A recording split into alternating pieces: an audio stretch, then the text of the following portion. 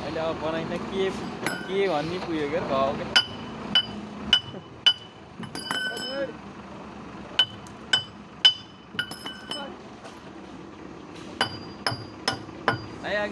एकचोटि हान्नु न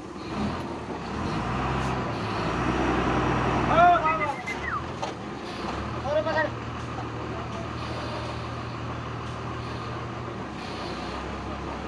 आ जाए